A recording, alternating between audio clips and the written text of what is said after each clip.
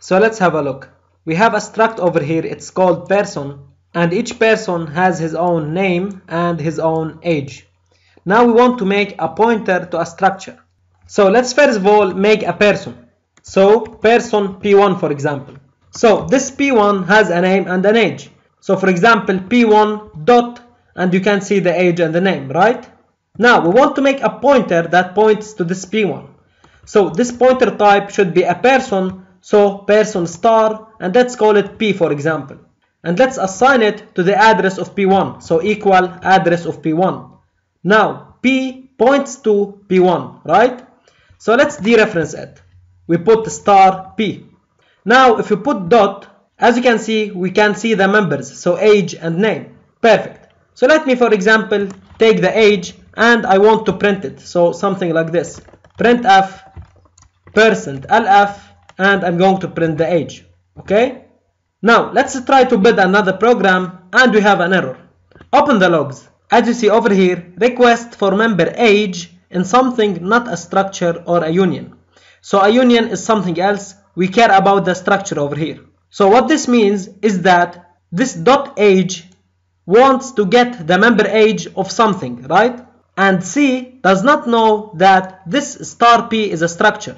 So we have to make sure that C knows that this over here is a structure.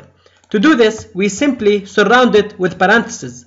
And now we are sure that we will dereference the pointer and then after we dereference it, this means that this over here is our person P1 and then we will get dot age of our person P1 okay build another program and now the program works perfectly and we can see 0 let's for example over here put p1.age is equal to 20 build and run the program and we have 20 okay? Perfect. So now our program is working. So whenever we want to dereference a structure we use this syntax. We have to put parentheses dereference the pointer inside the parentheses and the dot will be put outside the parentheses. And as you can see if every time we want to write this this is a little bit ugly and it is hard to write every time. So there is another way so let's print f percent %lf and we will print the same thing using the other way. So type the name of the pointer okay? And since this is a pointer to a structure we can use the following. Put minus then put a greater than sign. So this looks like an arrow. And as you can see, when I type the arrow, we can see the members, age and name. So put age. Now, add a backslash n over here, build a program, and as you can see, we have our age printed.